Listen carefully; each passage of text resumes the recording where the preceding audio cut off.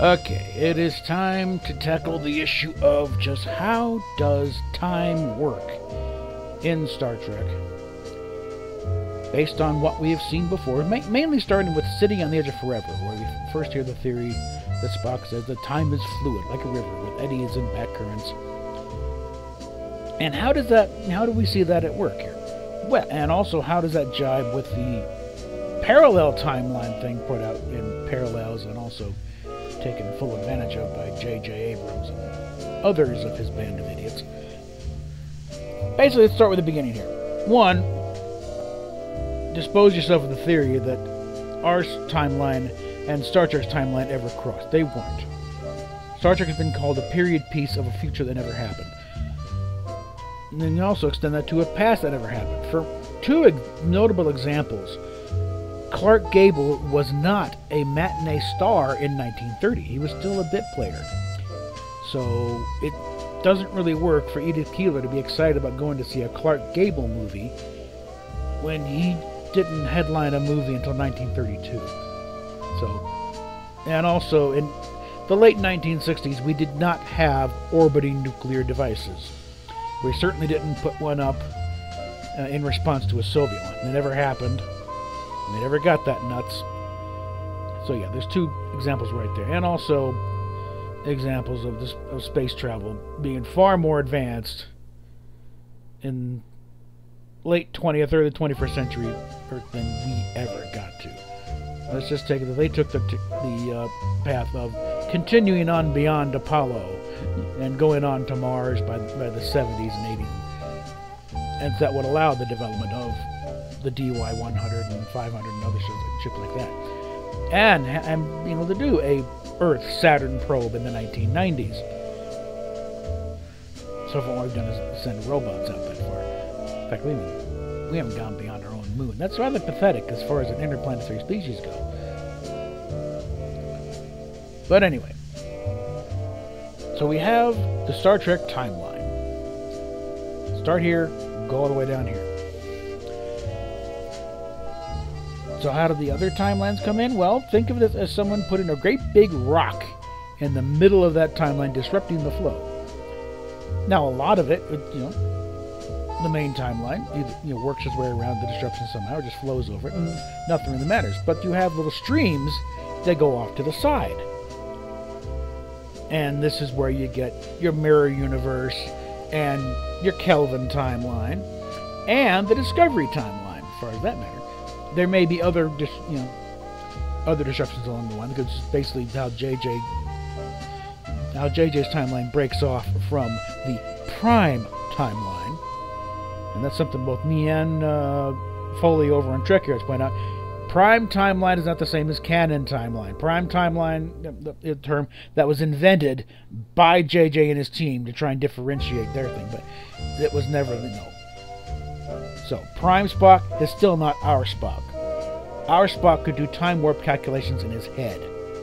Prime Spock, it never occurred to him to actually maybe go back and prevent all this crap and save Vulcan. Nope. He let it blow up, and afterwards he's like, no, I'm, I'm just let it happen. So that's not our Spock. Never was. I don't care if Nimoy played it. But they're still, the timelines are still flowing in the same general direction. Now, with the canon timeline as our benchmark, this is why you have some of the same events happening in the different timelines. They hit those parts. And in the alternate timelines, they get a little more outlandish in trying to match up with those marks. Like with the Mirror Universe, you know, yeah, Kirk assumes command at about the same time, but instead of just rising to the ranks and taking over from Pike, he assumes command by assassinating Pike. And way over here on the JJ timeline, he's just made captain for no good reason. Than the fact that as, as a cadet he was about to be bounced out on his ass. And also somewhere over here you got Pike and, and it just gets weird. You know, the as these timelines are trying to realign themselves. As they get further down the line, eventually start trying to remerge. And something that you know curious will happen when they start to realign. Like let's take Picard particularly season three. Seasons one and two, no, they're, they're off to the side here. But season three, we're starting to see fewer and fewer differences. Things are lining up better. And we had to look at this from the perspective of okay, yeah, other other timelines they're doing very stupid things to have certain events line up with the main timeline. Let's just assume yes, Picard by this point is in an android body. The technology's been there for eh, you know essence and mind transfer since Turnabout Intruder. And in the and also in the in the next generation episode, uh, Schizoid Man, you, you saw Ira Graves transfer his essence into Data. The technology has been established for doing that. This is not a shocker. We can only assume that in the proper canon timeline, there was a much more logical reason for Picard's body to be transferred into an android body. And who knows why the why the android body still looks like a 95 year old guy waiting to die. But let's put that aside. In the in what we saw in season two, season one of Picard, it was stupid, but it had to line up. It's one of those fixed points in time they had to match up with. But by the time of season three, the timeline's starting to remerge. You're getting fewer fewer discrepancies. You get you know, and an objective observer would notice that looking back, fewer and fewer discrepancies. Are, the, the timeline is starting to realign itself. So by season three, now it's not completely canon. Not completely lined up yet, but it's damn close. The fact that you have a Constitution class ship, the USS New Jersey, looks like it should as a Constitution class ship, and not the Disco Prize that we have in Strange New World. That thing, that one's still way over here somewhere.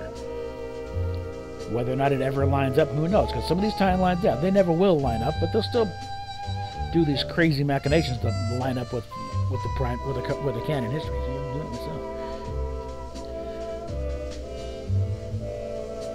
But you get to the point where it's like eventually the other time will just they'll peter off somewhere else and go, you know, or they'll will eventually line back up with the canon timeline and realign themselves somewhat, but very few disruptions. So, is season three of Picard canon? Mostly. There's still a couple of holdovers here and there from uh, from Discovery and from from Picard seasons one and two, but it's starting to shed those as it realigns up back with the canon timeline. So we can say it's mostly canon. And if we go through with Star Trek Legacy, that would pretty much be the last hurdle where it's like, no, we're no longer referencing that crap. It's now back in line with proper canon and we can move on with our lives. So, hopefully that's useful everybody. We will, again, links in the description for helping to support this. We really do need help here, guys. I'm trying to get this channel back to something of viability. So, like, share, subscribe, and we will talk at you later.